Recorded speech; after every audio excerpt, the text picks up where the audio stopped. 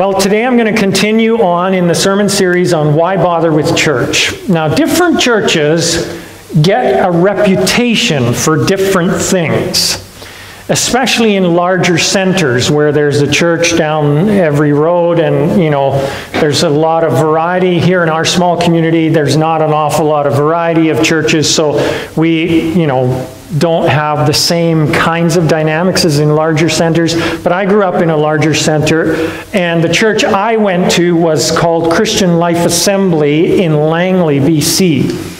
So it was a church of about 2,000 people when I was growing up. Later on, it grew to about three, and then later to 4,000 people as God blessed. And uh, our church was known for two things. Basically, uh, it was known for its music.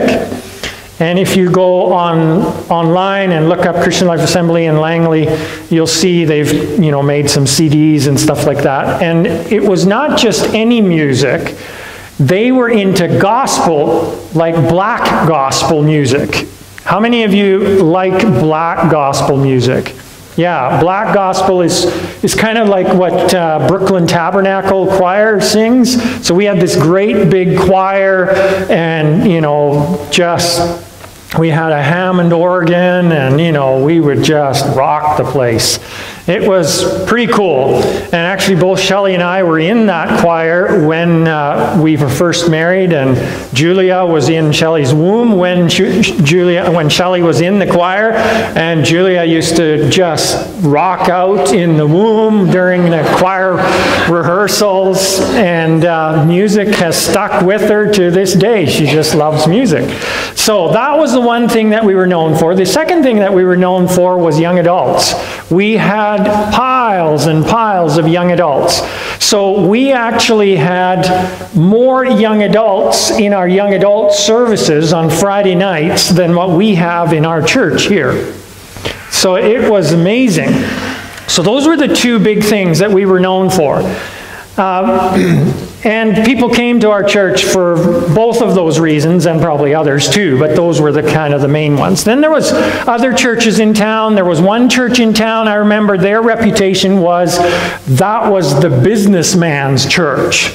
So if you were a businessman, that's where you needed to go because they hung out all in that church, and I don't know if they'd make business deals there or if they, you know, networking or whatever it was, but they all just sort of huddled together in that one area. And and then, you know, there's all kinds of other things that churches get known for. Some of them are good reasons uh, to be attracted to a church. Others, others of them are not necessarily good reasons to be attracted to a church. Um, but there are a lot of good reasons to bother with church. Last week we talked about, you know, the love that you feel in a church. Um, today I want to talk about the possibility that being part of a church actually could make you a better person. Now, I'm not saying that as a definitive statement that being part of a church will make you a better person. I'm saying it possibly could make you a better person. And as we go along, you'll see why I'm not so absolute on that statement. The truth is, we all want to be good people. I mean, deep down inside, I think that's a, generally a good thing. Uh, and generally an accepted thing. I mean, most of us, when we meet each other, put our best foot forward because we want to be known as a good person we don't go around saying, you know, well, I'm a lousy, you know, this, and I'm a lousy that, and I'm a lousy this, and, and so on. We, we try to think of ourselves as good people, and we try to present ourselves as good people, and I think that's a good thing. And being a good person, if going to church could help you with that, maybe that's worthwhile then. I think churches possibly could help us instill good values in ourselves and in our kids. Sometimes I worry about families who don't bring their kids to church and how that can affect their kids. You know, the parents might have a vibrant faith, but if you take away the community of faith, you know the saying, it takes a village to raise a child. If you take away that village of faith, which a church can be, that can be a scary thing in a child's life. And And I would probably venture to say that if that was all that you got out of church, that would probably still be worth it to get up on Sunday mornings, make your way down, and be part of it. But if that's all you got out of church, you would have missed the very best part. And the very best part of church is actually a person and his name is Jesus. Jesus is the key to all of what we are about. He is central to everything. So I want to look at a passage in a book in the New Testament called Hebrews. Hebrews chapter 8, and starting in verse 6, it says, But now Jesus, our high priest, has been given a ministry that is far superior to the old priesthood for he is the one who mediates for us a far better covenant with God based on better promises. If the first covenant had been faultless, there would have been no need for a second covenant to replace it. But when God found fault with the people, he said, The day is coming, says the Lord, when I will make a new covenant with the people of Israel and Judah. This covenant will not be like the one I made with their ancestors when I took them by the hand and led them out of the land of Egypt.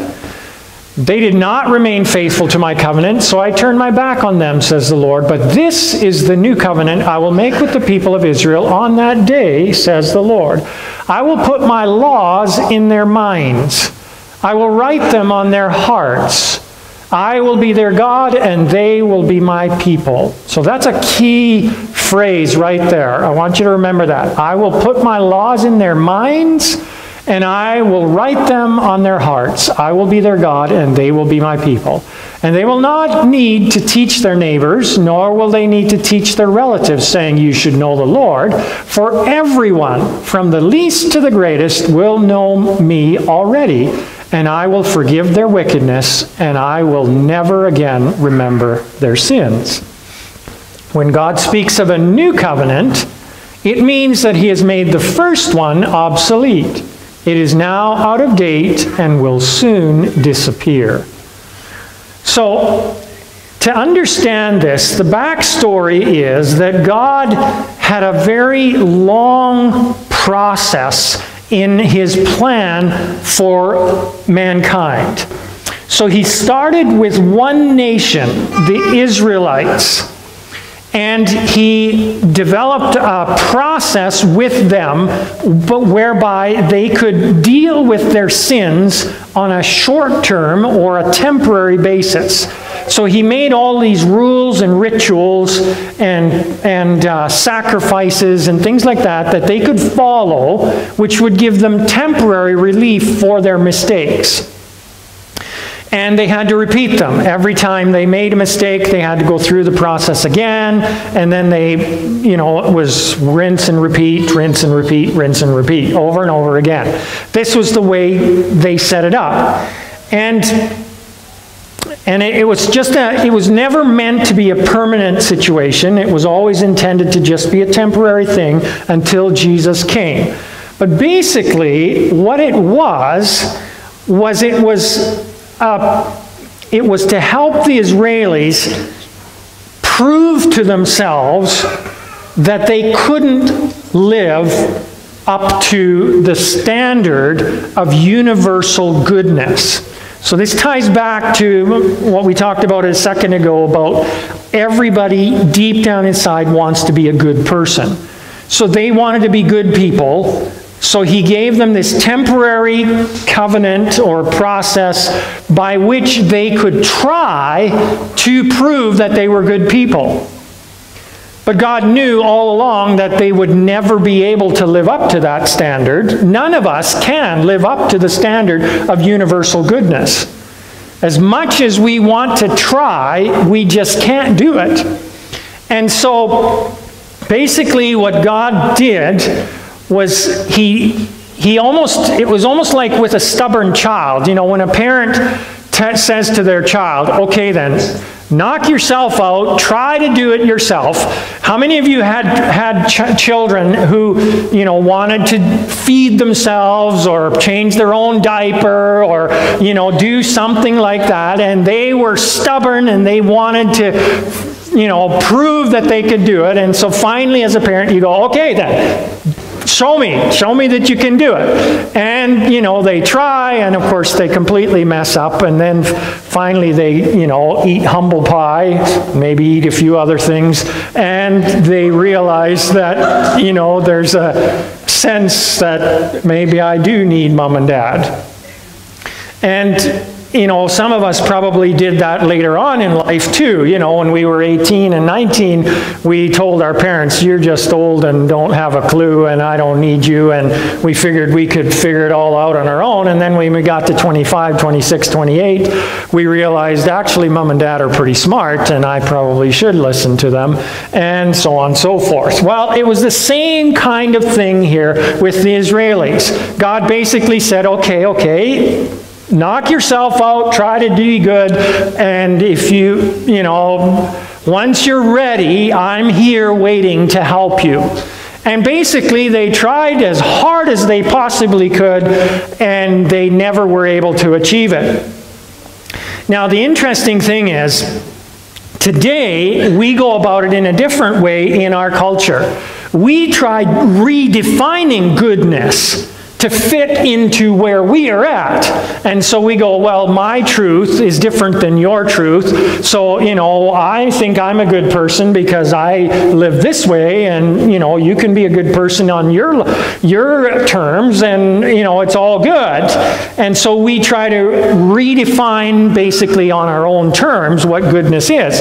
And, you know, we can fool ourselves for a while into thinking that maybe we are so smart and we've got it all together and we truly are good people. But the truth is, when it boils right down to it, if my goodness is different than your goodness, and then we have to figure out who is ethically right or wrong in any given situation, we are stuck if we don't have a higher authority somewhere along the way of what goodness really is.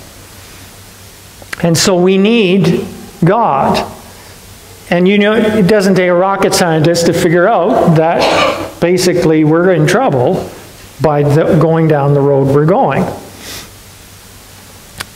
The Jews went about it a little bit differently. They decided, well, instead of redefining truth, we're just going to add more rules to what God has already given us. So they actually kept adding more and more and more rules, thinking that the more rules we have, the better people we are.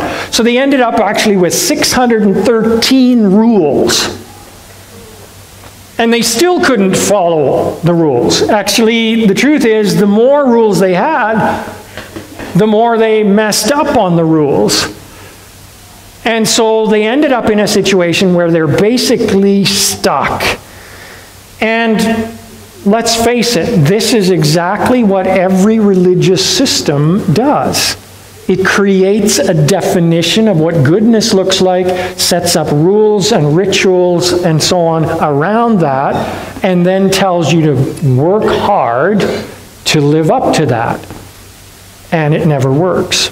And that's why so many people have given up on organized religion, because it's just frustrating. You just can't do it. And you end up feeling less than you did to start with. So why bother with it? But here is where Jesus entered the picture. See, Jesus came and changed everything. See, when Jesus came, he basically said two things. He said, Stick with me and I will take care of all of your past. and stick with me, and I will change your future. Those are the two key things that Jesus basically said in the new covenant. Stick with me and I'll take care of your past. And Jesus basically, what he did is he paid for all of our mistakes. So we'd racked up this massive debt, and Jesus said, Okay, I will take care of that debt. I'll pay it all off for you. How many of you have a mortgage on your house? Just imagine with me for a minute somebody comes along and says, I'm going to pay your mortgage off today. I actually heard about that happening. Um, I may have even talked about that. Um, Donald Trump was out in his limousine one day and he got a flat tire, and somebody stopped to help him. Uh, and he was so grateful, he said, uh, You know, can I have your contact info? And they said, Oh, sure. And they gave him the contact info. And the next day he sent flowers to the lady, and then he sent a little note in the flowers. And he said, uh, By the way, I uh, paid off your mortgage for you on your house. Well, that would be a nice payoff for helping somebody with a flat tire. Can you imagine?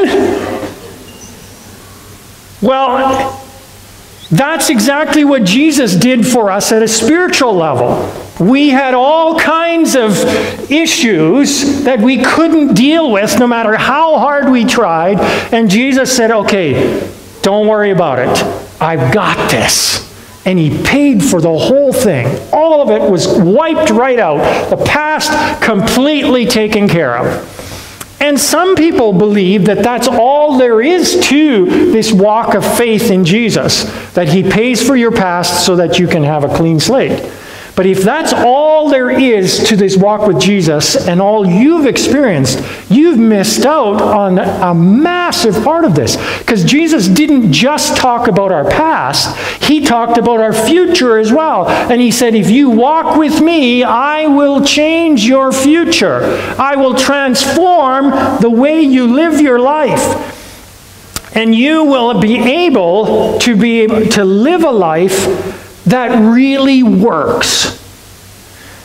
Now, different people have defined that in different ways. You know, some people have said, well, that means you're going to be wealthy. I don't necessarily think Jesus meant that because there's lots of people that really walk closely with Jesus in all kinds of parts of the world that aren't wealthy. There's some people that said, well, that means that you're always going to be healthy. I've known some people that were really, really godly people that weren't healthy physically. But I do believe that when Jesus says, I'm going to give you a life that works, he means that he's going to teach us how to think about life in such a way that we have genuine joy, genuine peace, genuine love, and that is what makes life work, regardless of what your circumstances are. And um, the thing is, it's a slow process. And this is where we talked a little bit about this last Sunday as well. I mean, I wish that we had a magic wand that we could just wave over people the moment they prayed their very first prayer and it would completely change their minds and they would live completely happy from that moment forward. But it doesn't work that way. We saw in this verse in these verses that we read here that he said he's going to write his laws in our heart. That happens one law at a time. It's not like he instantly, bam, it's all there. He's constantly writing and explaining and changing our thinking one little bit at a time. And so it goes takes time. And that's one of the things that we in our culture today don't do well with. We're into the instant thing. You heard about the little boy who looked at the thing that said instant, uh, you know, instant food, and he was going to put it in the microwave. I don't know if it was a Pop Tart or something like that. He looked at it, and it, it said on there, put in the microwave for two minutes. And he's like, two minutes? I thought this was instant. We don't do well with the, you know, patiently waiting for processes nowadays. We want everything bang, bang, bang, instant, yesterday preferably. But with the transformation of our minds that Jesus promised to do, it actually takes time. And I think this is important for us to understand when we are introducing people to Jesus. This is a long term relationship, a long term commitment. You're not going to instantly see massive change, it's going to be a process over time. And uh, over the years, you're going to notice that things are changing more and more. So, as he writes these things in our hearts, that it stands to reason that we have to learn to listen. So, how do we listen to Jesus? That's one of the key questions that we as believers need to come to grips with. How do we hear what he is trying to teach us as he's transforming our minds? Well, I submit to you, one of the ways is through the Bible.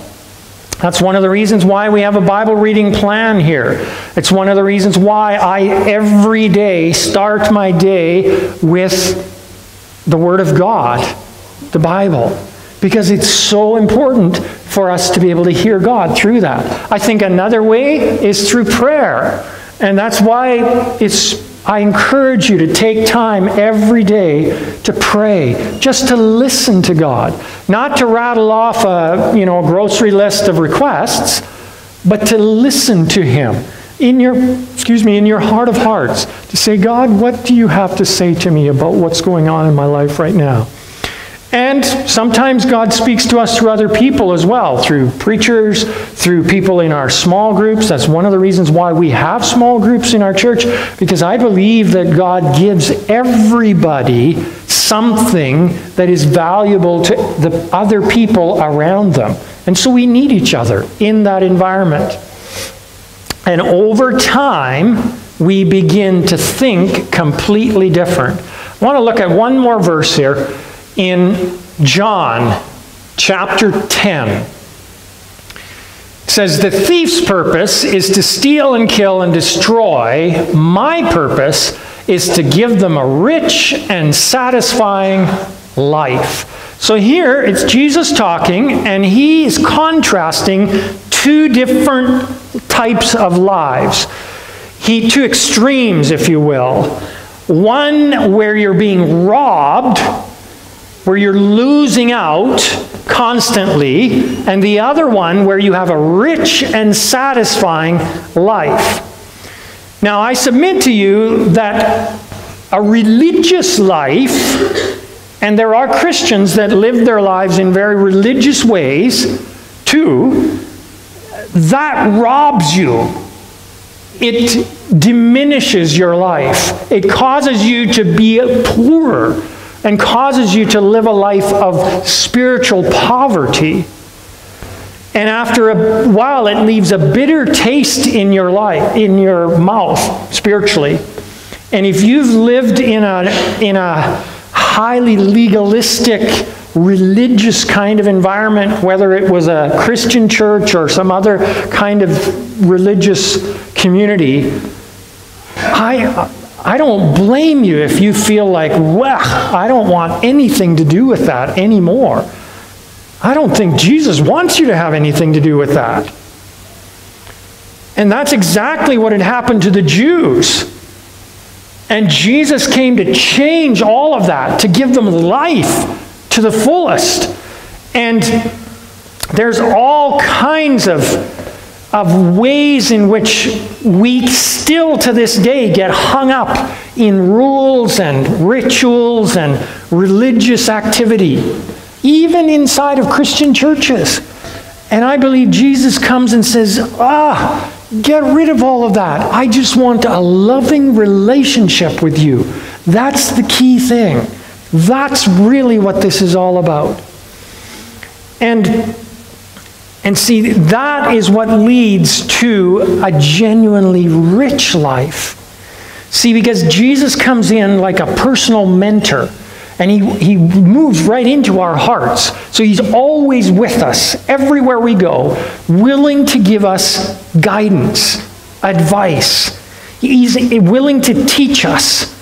Now, the thing is, it's not easy to hear his voice when in an information overload kind of society like we live in, where we're being bombarded with information from every direction all the time. It takes intentionality to quiet ourselves down on the inside to be able to hear from God. And if we can't do that, we probably won't be able to actually hear what he's saying. So I encourage you, find time every day to just be quiet.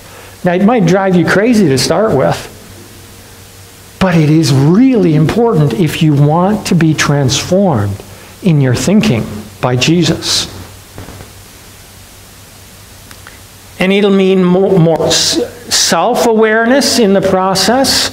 You'll become more aware of what's going on on the inside of yourself as you go through this process. And as you become more self aware, more God aware, you'll also become aware of the pathway to inner freedom. And see, this is the thing religious activity makes us look good on the outside, but leaves us empty on the inside. A relationship with Jesus fills us on the inside but may not necessarily make us look as perfect on the outside. And God talks about that. Man looks at the outward, but God looks at the heart. It's so important for us to, to understand that. So, why bother with church? Well, the truth is, if you do it right by focusing on Jesus, it will change your life. You will become a better person.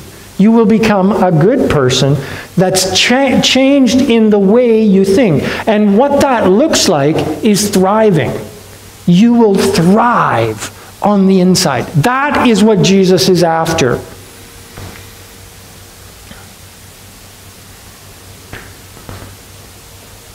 But Dallas, I know that that may be what Jesus wants, but the truth is, I think it's actually easier to thrive outside the church than it is inside the church. Because inside the church, there's so many hypocrites and so many people that just make it difficult. I think it's easier to thrive when I just leave church alone. And you've heard me say this before, but when people tell me, you know, I don't want to go to church because it's just a bunch of hypocrites, I tell them, don't worry about that. Just come on out. One more won't make any difference.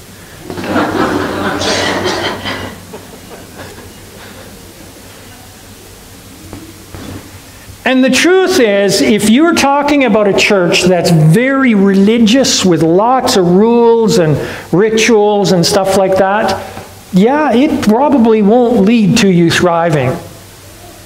But if you can find a church that's genuinely committed to Jesus, that's following Jesus, that's encouraging you to seek Jesus, to listen to Jesus, and has Jesus at the center of everything, it will lead to a life that's thriving. And it is the best place possible to help you move in that direction. Because when you're surrounded by other people that are following Jesus, it reinforces that same journey in you. And why is this? Well, you see, rules lead, they, they come out of fear, and fear never leads to thriving. But love leads to thriving, and Jesus is all about love. Jesus' love is what transforms us.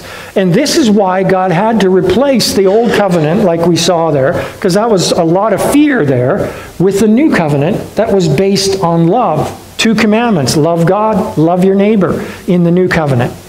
And, and over time, that will lead us to genuinely thriving.